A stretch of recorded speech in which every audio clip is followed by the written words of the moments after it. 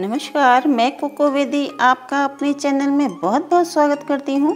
आज मैं आप लोगों के लिए बिल्कुल हलवाई स्टाइल बेसन के लड्डू की रेसिपी लेके आई हूँ, जिसको हम बेसन और सूजी दोनों को मिक्स करके बनाएँगे। सूजी आपके पास मोटी वाली, बारीक वाली जो भी हो, आप उसका यूज़ कर सकते हैं। यहाँ पर हम सूजी इसलिए यूज़ कर रहे हैं कि हमारे लड्डू बिल्कुल दानेदार और हलवाइयों जैसे परफेक्ट बनकर तैयार होंगे।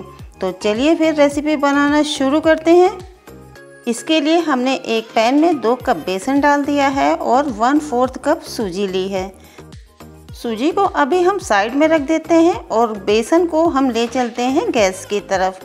इधर हमने गैस को ऑन कर दिया है और अपने बेसन को अब हम थोड़ी देर बिना घी के भूनेंगे, जिससे कि हमें लड्डू बनाने में बहुत ज़्यादा घी का प्रयोग नहीं करना पड़ेगा और हमारा बेसन भी अच्छे से भून जाएगा। जब इसमें एक अच्छी सी खुशबू आना शुरू हो जाएगी, हम इसमें तब थोड़ा थोड़ा करके घी डालना शुरू करेंगे।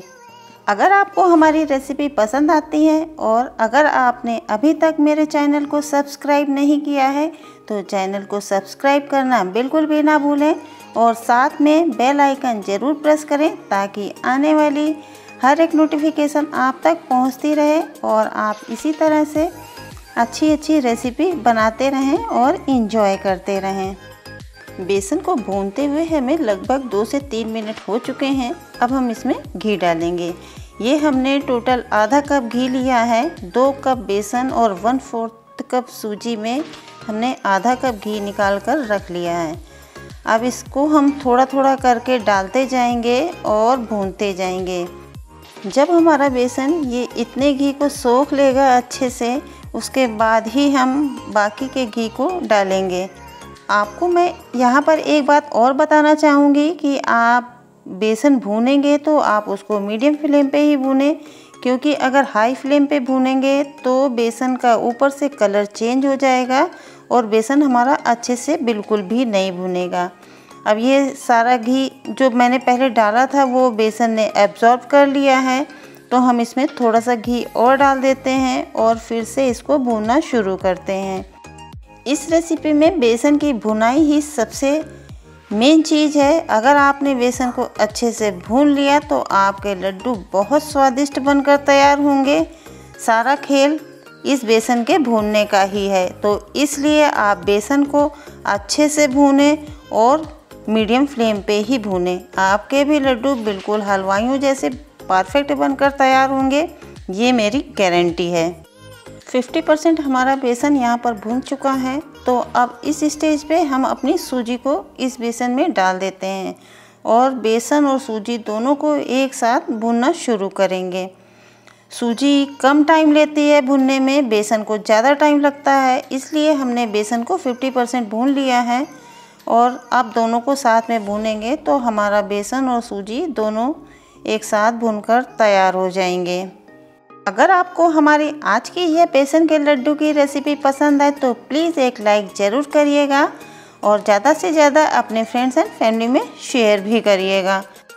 सूजी और बेसन दोनों को साथ में भूनते हुए भी हमें दो से तीन मिनट हो चुके हैं और इसमें अब घी नहीं दिख रहा है तो हम इसमें बचा हुआ घी भी डाल देते हैं और फिर अच्छे से इसकी भुनाई शुरू करते हैं। इसमें खुशबू तो आने लगी है, लेकिन अभी इसकी भुनाई थोड़ी बाकी है।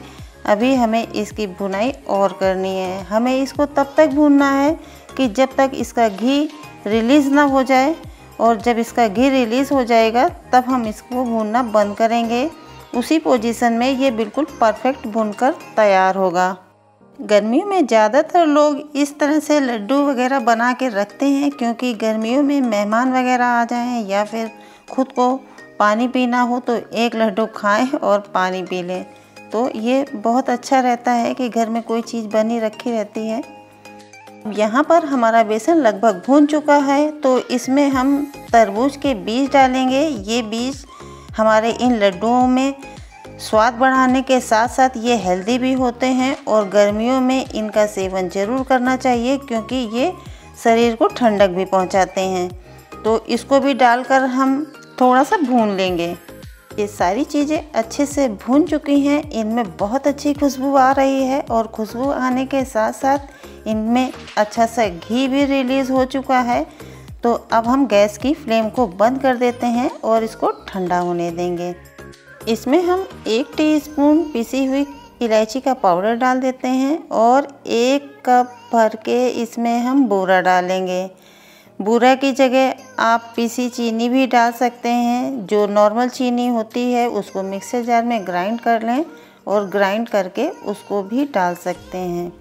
हमने यहाँ पर बूरा का यूज़ किया है, लेकिन आपको यहाँ पर एक चीज़ का और ध्यान देना है कि हमें गरम गरम बेसन में चीनी नहीं मिलानी है, नहीं तो इसका पानी रिलीज़ हो जाएगा और हमारे लड्डू बिल्कुल बेकार हो जाएँगे। इसलिए हमें जब हमारा बेसन बिल्कुल हल्का सा गर्म हो कि जिसको हम आराम से छू सकें, उसी पोजीशन में हमें चीनी को डालकर मिक्स करना है।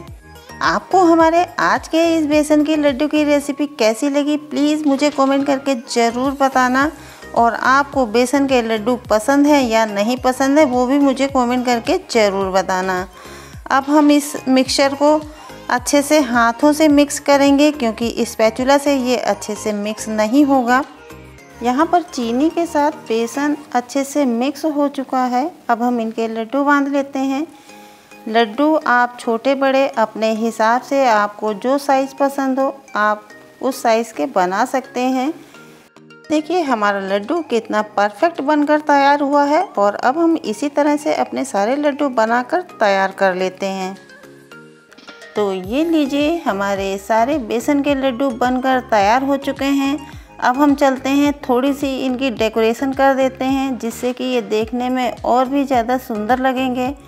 तो इसके लिए हमने बारीक पिस्ता कट करके इनके ऊपर थोड़ा थोड़ा लगा दिया है और हमारे लड्डू खाने के साथ साथ देखने में भी बहुत खूबसूरत लग रहे हैं। पता ही नहीं चल रहा है कि ये हमने घर पर बनाए हैं। अगर आपको हमारी आज की यह रेसिपी पसंद है तो प्लीज़ एक लाइक ज़रूर करिएगा। ज़्यादा से ज़्यादा अपने फ्रेंड्स एंड फैमिली में शेयर भी करिएगा। अब हम आपको एक लड्डू तोड़ के दिखा देते हैं। ये देखिए कितने सॉफ्ट लड्डू बने हैं। आज की बेसन के लड्डू की यह रेसिपी बहुत ही ज़्यादा मस्त रेसिपी है तो आप भी इस रेसिपी को ट्राई ज़रूर करें। और आपके बेसन के लड्डू कैसे बने, मुझे कमेंट करके ज़रूर बताना। चैनल में नए हैं तो चैनल को सब्सक्राइब करना बिल्कुल भी ना भूलें। फिर मिलेंगे नई रेसिपी के साथ। तब तक के लिए धन्यवाद।